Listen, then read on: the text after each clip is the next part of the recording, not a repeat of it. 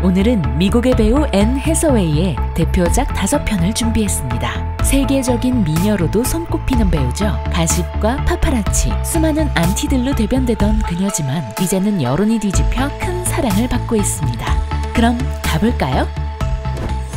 5위 One Day입니다.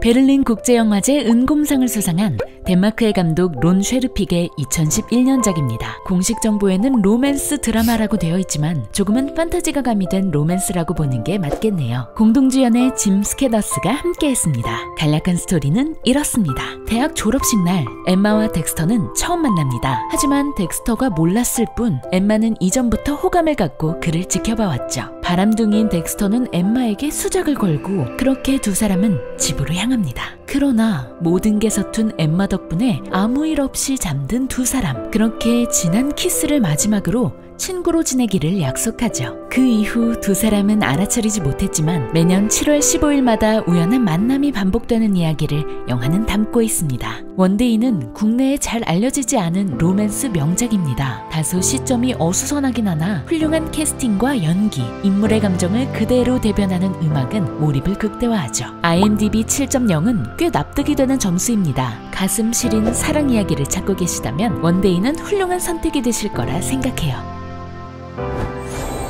4위 악마는 프라다를 입는다입니다. 미국의 감독 데이비드 프랭클의 2006년작입니다. 로렌 와이스버거가 집필한 세계적인 베스트셀러를 영화화한 작품이죠. 앤 해서웨이는 주인공 앤드리아를 연기했습니다. 간략한 스토리는 이렇습니다. 앤드리아는 최고의 패션 매거진인 런웨이에 기적처럼 입사에 성공합니다. 하지만 그녀는 명품 브랜드의 이름조차 모를 정도로 패션과는 거리가 멀었죠. 그럼에도 앤드리아는 경력을 쌓기 위해 딱 1년만 버텨보겠다는 각오로 일을 시작합니다. 하지만 편집장인 미란다를 만나게 되면서 그녀의 계획은 꼬이기 시작하죠. 미란다는 명성만큼이나 지독한 인성을 갖고 있었기 때문입니다. 밤낮 없이 불러대는 것은 물론 미란다의 숨기고 싶은 사생활까지 앤드리아가 목격하게 되자 그녀의 괴롭힘은 더욱 심해졌죠. 영화는 악마 같은 상사 밑에서 살아남기 위해 발버둥치는 사회초년생 앤드리아의 생존기로 보셔도 무방합니다.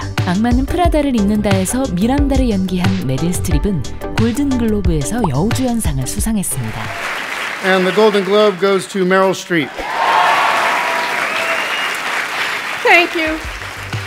앤 해서웨이는 수상에는 실패했지만 이 영화를 통해 세계적인 배우로 발돋움하죠. 국내에서도 흥행에 성공했고 특히 여성 관객층의 열렬한 지지를 받았습니다. 화려한 패션과 감각적인 연출, 커리어 우먼들의 치열한 모습 등은 10여 년이 흐른 지금도 회자될 정도의 완성도를 자랑합니다. IMDb 6.9를 기록하고 있는데 이 영화의 장점은 평점에 영향을 주는 부분과는 다소 거리가 있기 때문에 적당히 참고하시면 될 듯하네요. 볼거리가 많은 영화입니다. 재밌어요. 3위 Becoming Jane입니다. 로맨틱 코미디의 거장 줄리언 제롤드의 2007년작입니다. 영화는 오만과 편견 등을 쓴 영국의 대문호 제인 오스틴의 자전적 이야기를 바탕으로 만들어졌습니다. 앤 해서웨이는 극중 제인 오스틴 역을 맡았고 파트너는 제임스 맥어보이가 함께합니다. 간략한 스토리는 이렇습니다. 작은 마을에서 살아가는 제인은 혼기가 꽉 찬 아가씨입니다. 하지만 그녀는 남자에겐 관심이 없었고 오직 글을 쓰며 살아갔죠. 그러던 어느 날 런던 남자 톰 르프로이가 그녀가 사는 마을로 내려오게 되면서 두 사람의 만남은 시작됩니다. IMDb 평점은 7.0을 기록하고 있습니다. 가을을 닮은 영상에 빠지고 싶거나 가슴 시리게 슬프지만 그래서 더 멋진 아름다움을 찾고 있다면 혹은 자신이 이미 오만과 편견의 팬이라면 Becoming Jane은 완벽한 선택이 될 거라 확신합니다. 2위 레미제라블입니다. 프랑스의 극작가 빅토르 위고가 쓴 고전이자 19세기 프랑스를 배경으로 한 대하 소설입니다. 장발장이란 제목으로도 알려져 있죠. 이를 킹스 스피치를 연출해 아카데미 감독상을 수상한 시대극의 대가 톰 후퍼가 영화화했습니다. 처음으로 뮤지컬 영화를 소개해드리네요. 앤 해서웨이는 레미제라블에서 기구한 운명의 여인 팡틴을 연기했습니다. 간략한 스토리는 이렇습니다. 굶주리는 조카들을 위해 빵을 훔치던 장발장은 현장에서 체포돼 징역 5년을 선고받습니다. 하지만 네 번의 탈옥 끝에 총 19년을 수감한 뒤 다시 세상에 나오죠. 그런데 역시나 전과자의 낙인은 엄혹했습니다. 세상을 저주하던 장발장은 다행히 한 주교의 도움을 받는데 그곳에서도 그는 주교의 은식기들을 훔쳐 도망치죠. 오래지 않아 붙잡힌 장발장은 다시 수감될 위기에 처합니다. 그러나 주교는 은식기를 선물한 거라 사람들에게 말하며 그를 풀어주죠. 그 일을 계기로 장발장의 삶은 완전히 바뀝니다. 끝없는 선행을 베풀고 사업까지 성공해 시장 자리에 오를 정도로 말이죠. 바로 그때 팡틴을 만나게 됩니다. 장발장이 운영하는 공장의 성실한 일꾼인 팡틴은 아름다운 여인이었죠. 그래서일까 그녀를 질투한 동료들에 의해 쫓겨나게 되고 결국 매춘에까지 몸을 담게 됩니다. 그녀의 딱한 사정을 알게 된 장발장은 그녀를 보살폈고 그에 감동한 팡틴은 요절하기 전 장발장에게 딸 코제트를 맡기는 이야기를 영화는 담고 있습니다. 2시간 30분의 러닝타임 동안 장발장을 중심으로 1800년대의 프랑스를 온전히 담아냈다는 평을 받습니다. 배우들의 노래와 연기도 훌륭하고 시대의 표현도 부족함이 없죠. 레미제라블은 85회 아카데미에서 분장상과 음향상을 수상했고 앤 해서웨이 역시 커리어 처음으로 여우 조연상을 받게 됩니다. And the Golden Globe goes to Anne Hathaway, Les Miserables. 이것이 조연임에도 불구하고 레미제라블을 앤 해서웨이의 대표작으로 꼽은 이유죠. 그녀는 팡틴을 연기하기 위해 11kg을 감량했고 삭발도 감행했습니다. 늘 꼬리표처럼 따라다니던 연기력 논란도 레미제라블을 기점으로 사라졌죠. IMDb 7.6을 기록하고 있는 명작입니다. 아무래도 평이 갈릴 수밖에 없는 실사 뮤지컬이기 때문에 호불호는 분명히 있다는 걸 유념하시길 바랍니다.